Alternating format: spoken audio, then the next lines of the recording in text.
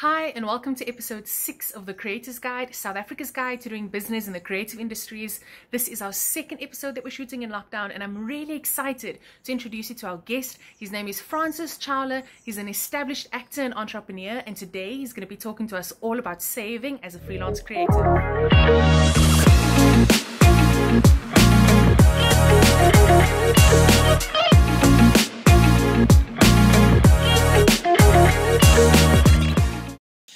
Hi everyone, my name is Francis. I'm a freelance actor and an entrepreneur, and I'm going to talk to you today about managing your income, your expenses, and particularly around how to save when you have an erratic income as a freelancer.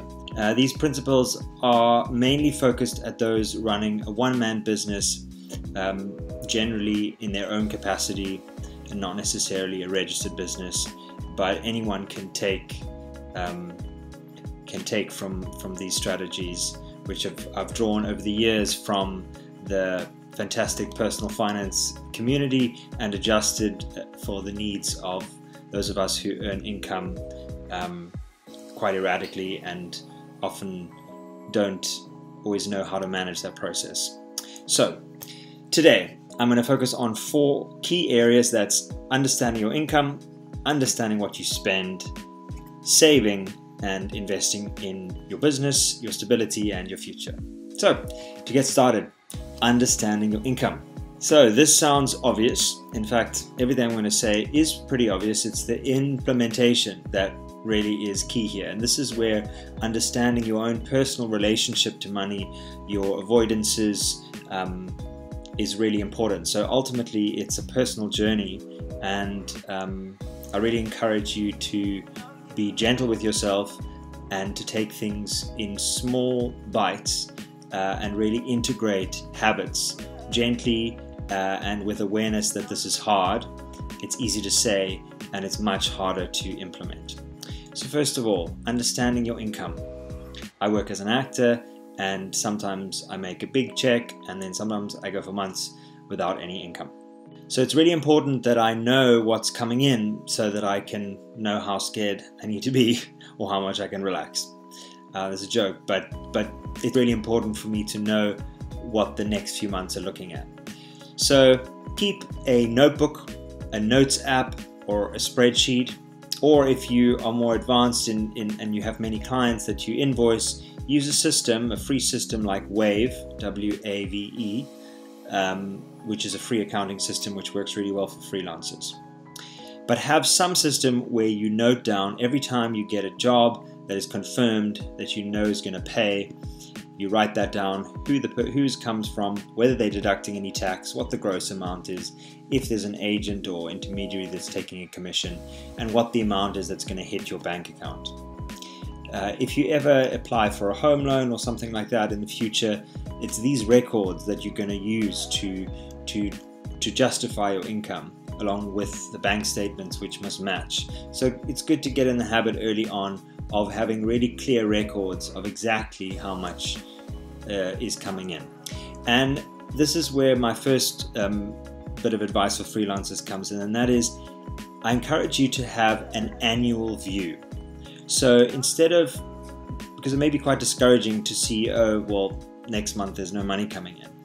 I like to look at my income over a full 12 month period. And use the tax year, even if you're not yet earning enough for tax. That's 1 March to 28 or 29 February. And I would encourage you to just list the whole income for the whole year and work out what it is that you made in the last 12 months. If your income is highly seasonal, like those who work in the film industry, I would encourage you to make sure that those six month, that six month period includes both a high season and a low season.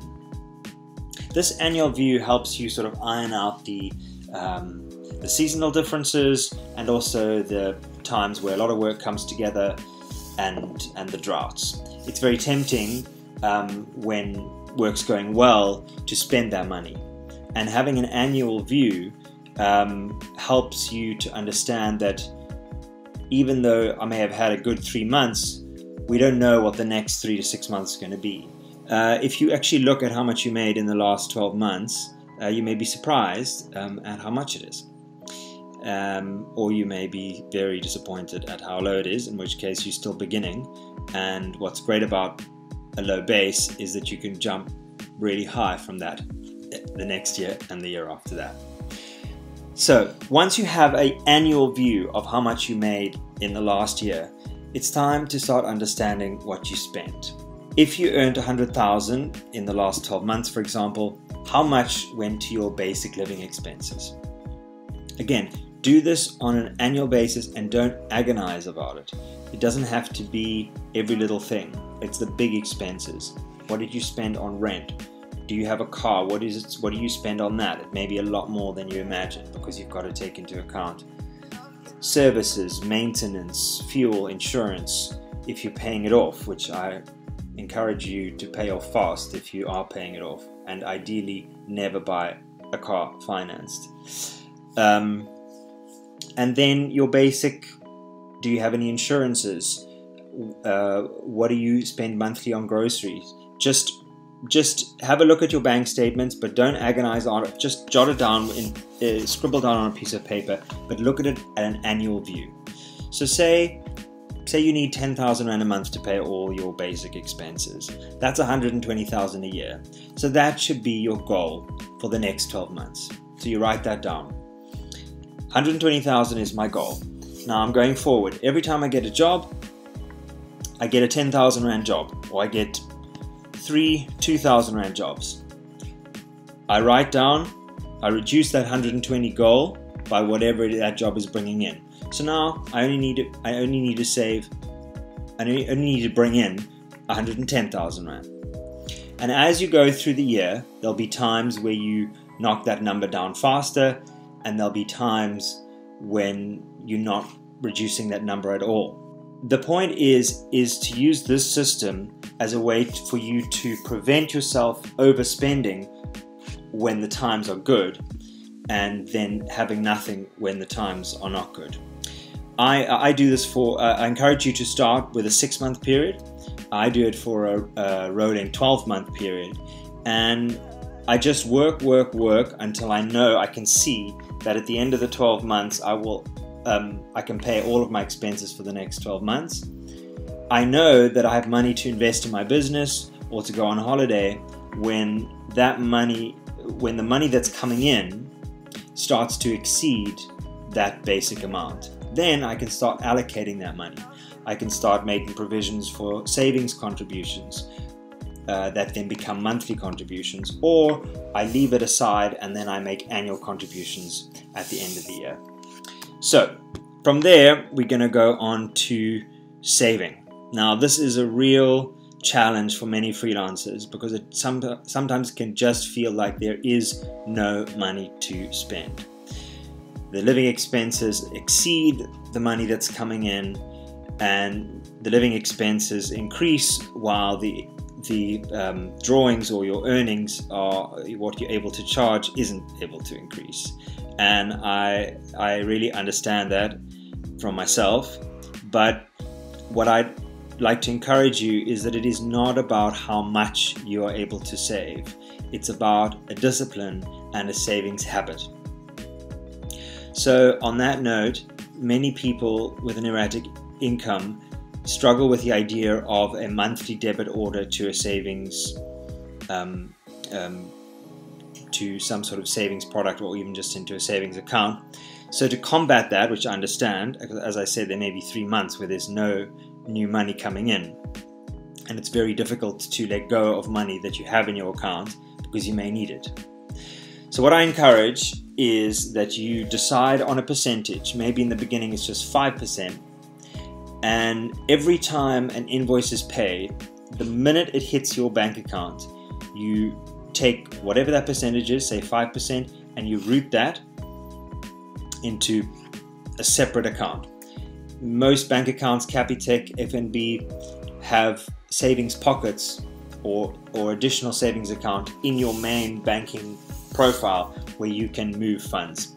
If you feel like it's going to be too tempting for you to take this, and this is where self knowledge and is very important, put that into a 32 day notice account it's important to start in a manageable um, with a manageable percentage. If you are only just getting by each month, start with 5 or less percent of each invoice. But make the decision before you even know you're going to make money. Make the decision before the commission gets given or the job gets given to you so that as soon as you even have a hint that that money's coming in you know that i'm only going to actually have 90% of it. 10% is going to go into this fund. And then as i said the day it hits your account you have to transfer it. This builds discipline and it builds commitment to your own stability and ultimately investing in yourself as a business and beyond that, investing uh, for your own financial stability in later life. But you have to start with the actual commitment to do it, and then you have to reinforce that by doing it every time an invoice comes in. And some people earn 500 Rand at a time. Doesn't matter. You go onto your online banking and you've transferred that 50 Rand each time the 500 comes in. I encourage you to look at TymeBank, TymeBank T Y M E, or Capitec. TymeBank uh, offers a very favorable interest rate of up to 10%, and they have goal save accounts which you can uh, allocate different things to. The primary thing to save for initially is an emergency fund.